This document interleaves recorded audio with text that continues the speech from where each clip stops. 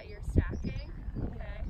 So as I come out, I always go, with, I lead with my right hand, okay? Because we really want to make sure that we're angling our legs up appropriately because we only do a stack when what? Oh, am I doing a hit? When there's a follow through. Exactly. Okay, so I'm always angling my stick just off of their body here. And then as I come down, that's when I'm putting my legs out here in the stack. And I, it's important that I don't want to be back on my hip. I want to be upright. I want to make sure my stick is to my hip so that I'm not leaving a gap in case the ball comes here. And then I have my block up here.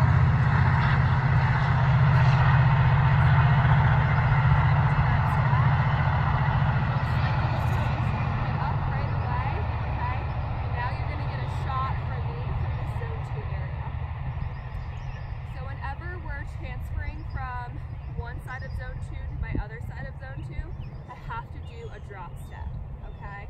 And my drop step is always to the center of the cage. Has someone talked to you about this before? Awesome. Okay, so I'm drop stepping here to the center of the cage, okay? I'm seeing where this ball is now.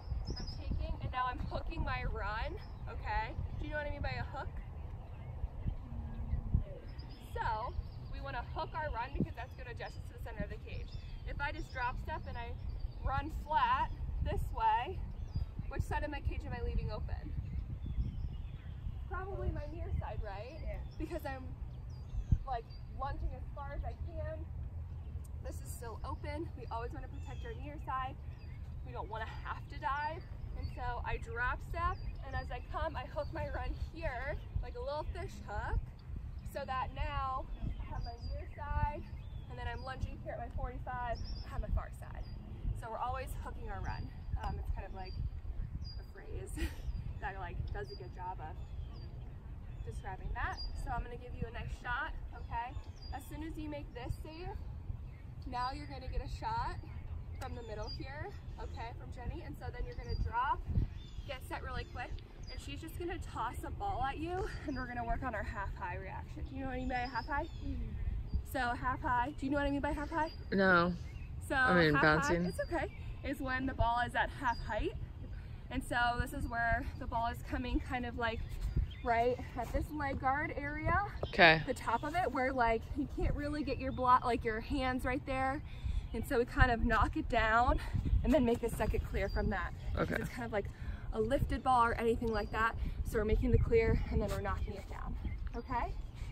Do you have any questions? So remember, if we want this all the way over actually in almost if you can, because I'm gonna tell you, that's the worst place to. We call that the Bermuda Triangle of Death.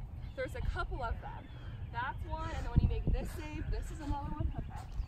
So um, as you're getting up in the stack, so really want to make sure you're like tight and compact. And then this is here, so like squeeze this space a little bit more. So sit up even a little bit more. So you want to be just like that because you want to be so compact. So that let's say the ball comes off here, and I try and pull this way. What are you gonna do? You're gonna dive, right, on your strong side. But we want to make sure you're coming out at a 45 degree angle. So always thinking intercepting good. All right, and so then if I um, ball comes here and I come this way, you're gonna do a switch back. Yes, there you go, and then you can dive this way. Good. So do you know what I mean by switch side? You're sitting up nice and yes. So you're always gonna lead with this foot. So this foot is gonna come up and then push yourself up. Your momentum will help when you're going full speed, and then we get set. Yes. Okay.